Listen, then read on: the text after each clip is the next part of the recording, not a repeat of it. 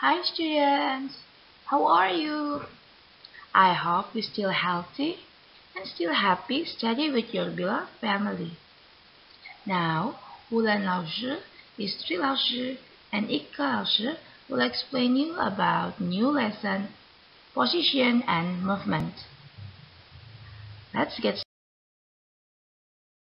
started. What we will learn in this chapter are we will learn how to making turn using hands of a clock. And then we also learn about moving shape. We will use grid coordinate to help us.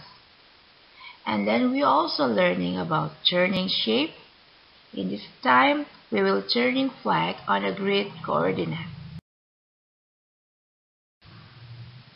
Making turn. We will learn about how to make a quarter turn or right angle turn. Here is a clock.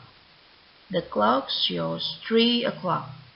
The hour hand point to 3 and the minute hand point to 12. What about if the minute hands or the left hands make a quarter turn or right angle turn? Clockwise direction. This is the position of the minute hand at first and then the minute hand making turn quarter turn to this position. So the clock will be like this. The minute hand point to 12 at first and then it is making a quarter turn and then now the minute hand points to 3 from 12 to 3 because of the minute hand not point to 12 anymore so it's not 3 o'clock again right so the hour hand point a little bit more than 3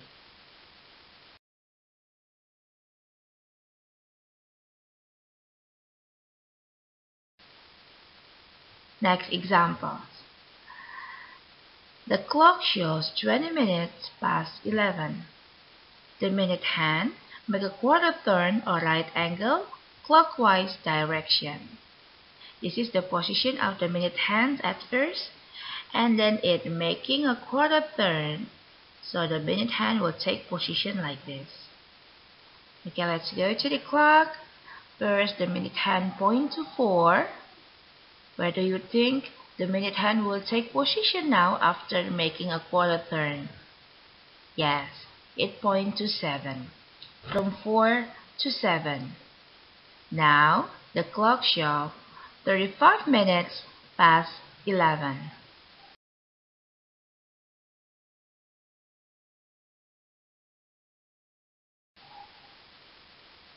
From those examples, we can say that to make a quarter turn or right angle turn, the minute hand has to move to the next three numbers. Okay, Let's try again. The first clock show 5 minutes to 2. If the minute hands make a quarter turn on a clockwise direction, where do you think the minute hand and hour hand will be placed? Okay, right. The minute hand will point to 2. From 11, go to the next three numbers it will be point to 2. The clock will show 10 minutes past 2. Now we will learn about how to make a half turn or two right angles turn. Here the clock shows 3 o'clock. How about if the minute hands make a half turn or two right angles clockwise direction. This is the position of the minute hands at first and then it go through making half turn it will take position like this. Let's go to the clock. This is the position of the minute hands at first and then it making a half turn so it point to 6 now from 12 to 6. Because of this is not 3 o'clock anymore, it's already past about 30 minutes, so the hour hand points between 3 and 4.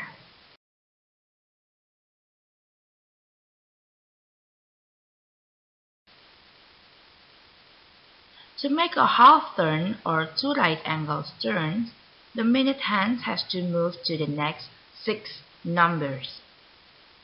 Okay, here is the clock. The clock shows 5 minutes um, to 2. And then if the minute hand make a half turn to clockwise direction, where do you think the minute hand and hour hand will be placed? Yeah, it will point to 5. It, the clock will show 25 minutes past 2.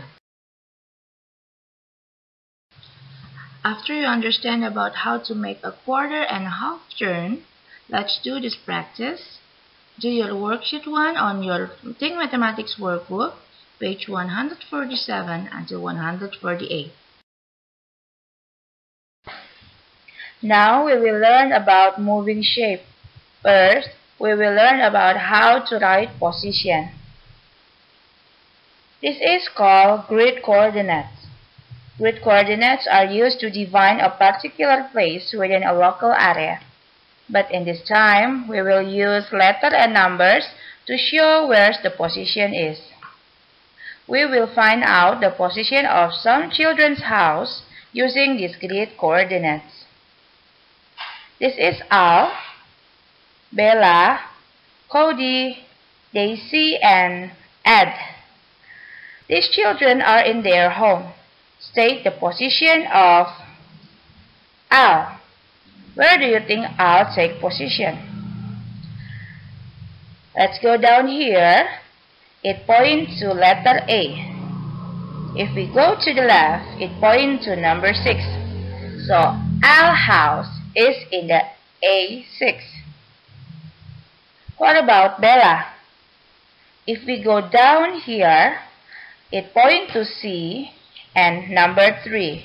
So Bella house is in the C3. Cody, where do you think Cody's house will take position? If we go down here, it points to E and 5. So Cody's house is in the E5. How about Daisy? Daisy point to G and number 7. So Daisy's house in the G7. And how about Ed? Ed point to J and 1. So Ed house in the J1.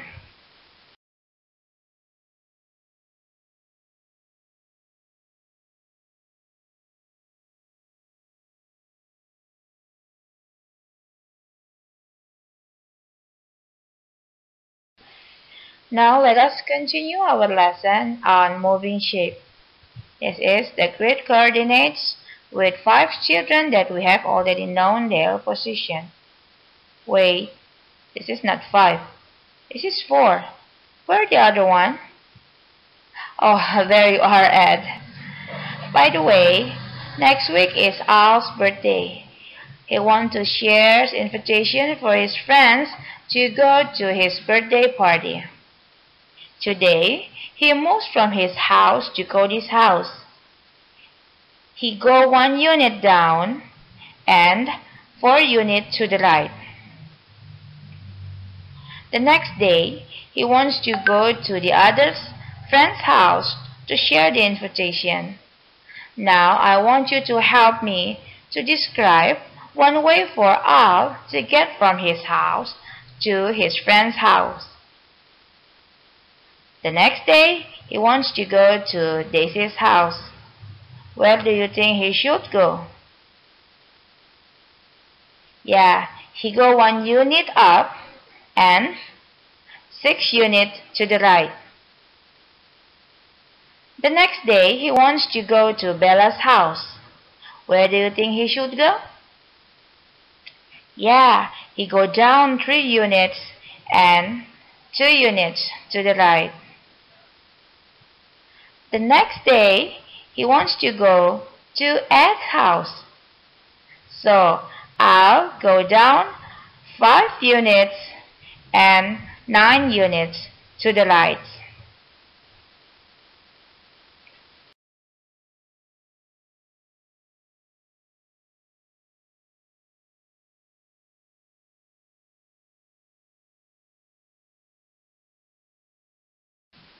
After you understand about how to write position and how to move in shape, I need you to practice. Take your mathematics workbook and do worksheet 2 on your Think Mathematics books, page 149 until 150. Let us go further by continue our lesson to turn in shape. This is our shape, a flag. The original position of the flag is E7.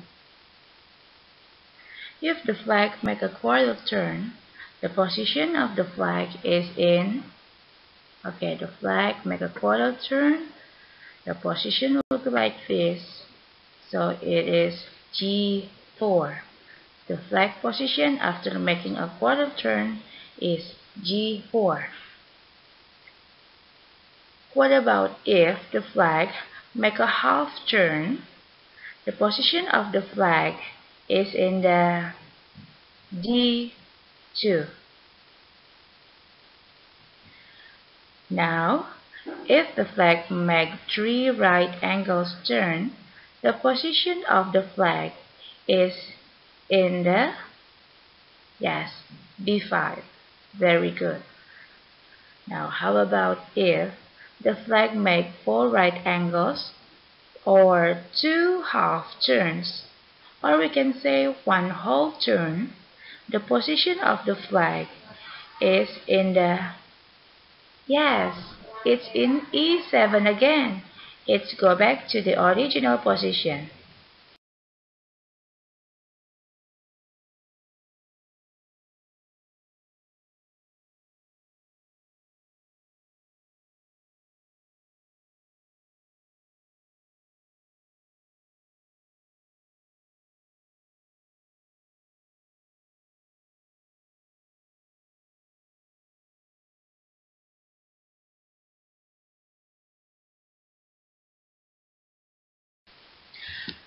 After you understand how to turn in shape with 1, 2, 3 and 4 right angles, I need you to do your worksheet 3 on your Think Mathematics workbook, page 151 until 152. Okay, this is the end of our lesson. If you have any questions about the lesson, you can ask me in Wulan Tyas YouTube channel or in our Google Classroom. See you!